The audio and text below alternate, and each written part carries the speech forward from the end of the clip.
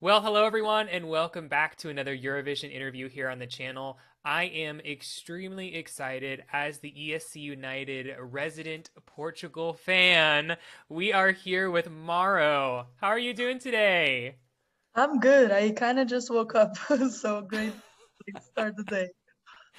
I mean, if it makes you feel better, uh, I also probably woke up about an hour ago. It's almost 5 a.m. here in the States, so uh, I'm in the same boat. so sorry. Oh my God. Yeah, no, here it's late. It's like almost 12 p.m.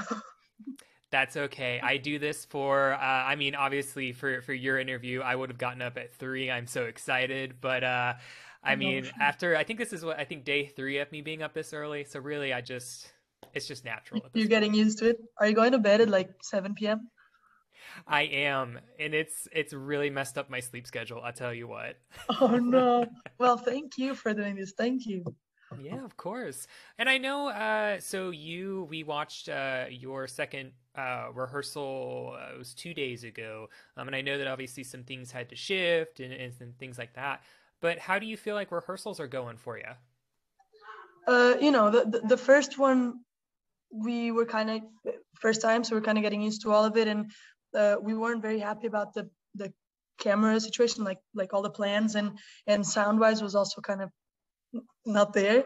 Um, but then they were awesome because you know all the notes we had and everything for second rehearsal it was pretty much on point. It was suddenly the sound was perfect. We didn't really change anything, and and camera wise it, it was much better too. So um, I, I mean we're we're really happy of the result. Like with with the results from from the second rehearsal. And now we'll see you know it's hopefully it'll be better and better and better Yeah, well, and I can tell you at least from our uh, stream that, that we've been doing. I mean, you had a very positive reaction uh, from yeah. both from both all of us on camera, um, and then also when the clip came up, everyone was like talking about it in our chat of, of the of things like that. And so, um, I think I think you will be surprised when you see it uh, kind of back. You you and, and, and RTP did a pretty good job. I, again, I'm the Portugal stand, so I mean, I would love anything, but. I am very excited. Um, and I wanted to ask so I know that you have been doing uh, all of your Eurovision prep while you've also been on tour. Uh, you've been touring uh, with with Charlotte Cardin. What has it been like to be touring and opening for an artist whilst also preparing for Eurovision on the side? Well, maybe I shouldn't be admitting this, but I, I think there was not much preparation while I was on tour. You know, so I was kind of like and and the Portuguese team was awesome about it because they're like, no, go do your tour and then we'll we'll we'll figure out and we'll kill it once you're back. So I I really I, I went on tour and I kind of focused on tour because you know it's like you have a show today here, then the show tomorrow in some other country, and then tomorrow the day after in some other country. So um, I I kind of just focused on that for three weeks. Whatever was necessary for Eurovision, I would kind of you know send some stuff or do some interviews or something. But really, I I was more focused on tour, and it was kind of like we made a deal that okay when you come back we'll we'll hit it uh, like 200% um but yeah it was it was it was a, like a ride you know but it was fun it was fun. Yeah. And and specifically thinking about uh of eurovision is this something that's kind of been on your radar for a while? Like have you been wanting to do this? Or was it kind of like a coincidental moment of you went to festival da Canção you won and you're like okay I, I signed up for this let's go yeah it was it was very much like closer to the second thing you said. Um i i you know i've i've had some opportunities in the past and i was always kind of like oh maybe not my thing maybe not for me but it's awesome because i've always watched it and it's you know kind of like kept uh update kept myself updated onto what's happening with festival and with the eurovision but it was never really like i it was always kind of like definitely not my thing. That's what i used to say and then this year I did festival because I'm I'm about to release my album and you know I have so much music coming out and I thought well no one really knows my work in Portugal which is my country. So I'm gonna do this festival.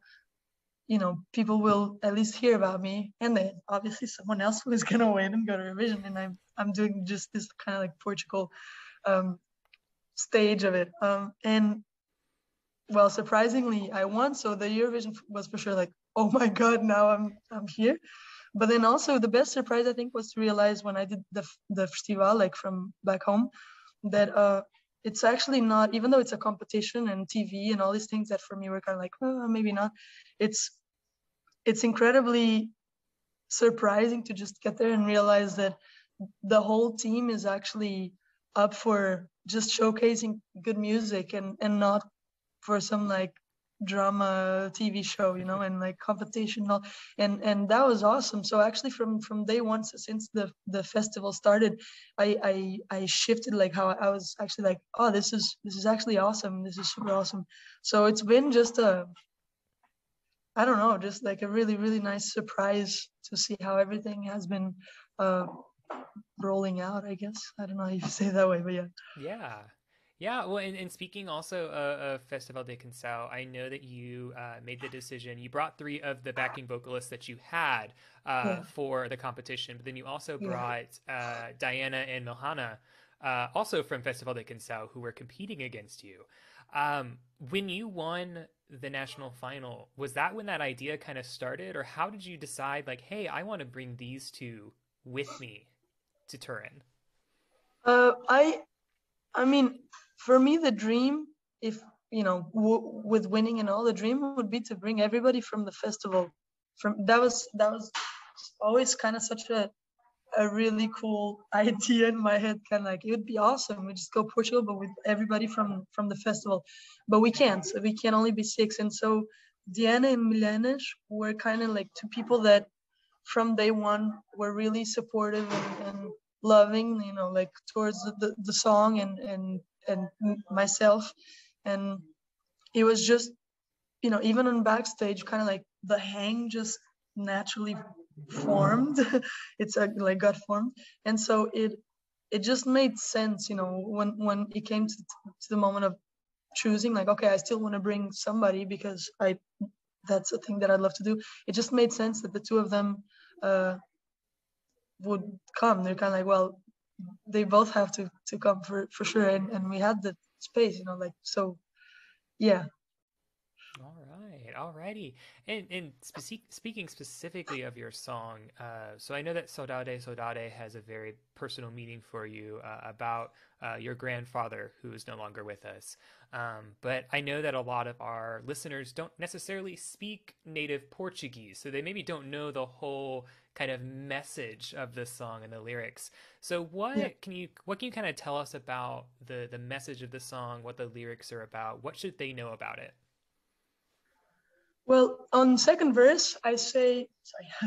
on second verse, I, I basically I say that uh, there's so much I carry with me, and that you know he was my safe space, and I I, I really like truly lost my best friend. That's kind of how I like what I'm saying on second verse. And then I also say um, that at this point I kind of just I like ask for signs of some sort and kind of like there's only really one word left to say, which is saudade and it's yeah, it just kind of it's it's all about that, about how it's there's like a, a loss that I kind of can't get over and uh, it's like a, a present feeling just this like saudade which is when you when you miss something right? You have saudade um and you know it's talking like from myself and and for for my whole family too you know we, we all we're all kind of like like so much so saudade of of of Omari which was my my granddad mm. Gotcha. Well, thank you for sharing a little bit more of that personal uh, message behind this song. Um, of course. I was uh, a little curious to ask you as well. So I know that you are pretty good friends with the former uh, Eurovision winner Salvador Salvador Sobral uh, from yeah. 2017, uh, and I'm not going to ask you about your relationship or anything like that. But I was curious: has he offered you any advice about Eurovision or the process or what to expect? Yeah, I mean, in the end, it was such a different experience for him, right? Because it was in such a, a, hard time of his life too. You know, he was mm-hmm. really sick, and it's like too much, and it was just him by himself. It's like I'm doing this with six friends, with five friends. It's it's a different experience. So I I know that for him it was, uh, you know, a lot and and a bit overwhelming even. But in the times we talked about it, it's kind of like, man, get ready, get ready. But at the same time, he's always kind of like this, like in enjoy. You know, I and exactly. I think I think it's a bit different for me, and it would probably be easier to not find it as like wow. But um, at the end of the day, like he he's just kind of like just enjoy. It's a wild ride. That's true. And it's one of those things. I mean, not to say that it only happens once, but I think that first Eurovision experience only happens once. Um, oh, yeah. You know, oh, yeah. you could possibly be like Valentina Monetta and come back, you know, three or four times, but that would be your choice. Uh... I think this is my, I think that's why we're all like, like really, really, really enjoying every bit of it is because I'm sure that most of like the group, so the, the six of us, is probably not to do another Eurovision. It's such a special moment in time, you know. It's like it's this one chapter from our lives that we're gonna look back in 20 years and be like, oh, remember da, da, da, da, da. so um yeah, it's I, I don't think I'll come back like two, three, four times, but we'll see. Who knows? Who knows? If the Portuguese now, delegation can't find any other musician in the next years and they come beg me like, Maro, please, maybe I'll think about it. well, but Portugal did... is cool. We have a lot of good musicians, so oh. I'm sure I'm sure we're always gonna have some some great stuff to to send to Eurovision. Oh yes, yes, and that national final is usually packed full of good, yeah, yeah, good yeah. quality content. So yeah, I was um, lucky. I was lucky. I want to ask you. This is one of my uh, favorite questions. I actually haven't been able to ask this question yet, so you're the first one to get this one. So, if you were going to like, so if the EBU came to you and said, "Maro, we need for you to make a cover of a Eurovision 2022 song, but you get to pick it. You get to figure out which one you want to do. Whose gotcha. song are you going to cover and why? Well, I I mean I love I love them all. Maybe the first one would be the the Greece song. Um just because first of all I love singing it. It's so nice to sing like even physically it just feels nice to sing it. And then because uh, Amanda's the sweetest, we've met her. She's she's truly awesome. And yesterday we saw her rehearsal. It was like, well, two days ago, was her rehearsal was just right before ours. And so just seeing it, it, it kind of like the, the, song stayed in my head for the rest of that day. So maybe start with that one. But there's so many good ones. Like, I don't know. It's really like cool to look at the 39 other other songs and be like, oh, that's I could really I could cover them all. I could cover them all. Maybe a Eurovision cover album is out there in the future then do not give me ideas. I'll do, I'll do it. now, I know that you do have that kind of a special special relationship with Amanda there. Uh, would you say that Greece is possibly going to receive your 12 points this year, or are there other contenders? I don't know. I mean, my points, as in like Portugal. No, like your personal points. Maro's 12 points this year. Ah.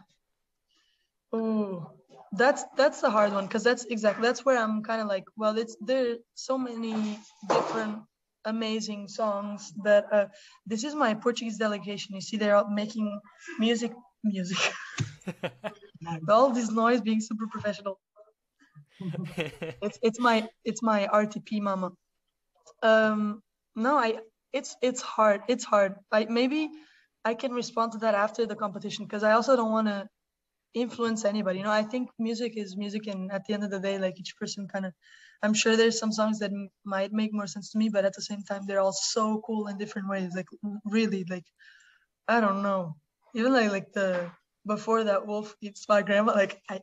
Even that's it's it's so good. It's there's so much good music. Like mm-hmm. I don't know. Yeah, so okay. I yeah maybe after the the Eurovision I'll be like okay maybe I would have given my top points too. But for now, Fair I'm enough. kind of just gonna leave it.